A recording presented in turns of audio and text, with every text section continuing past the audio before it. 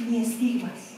Yo les hago notar que en los, en los medios de la nota roja, cuando pertenecen a otras escuelas o otras instituciones, no se señala.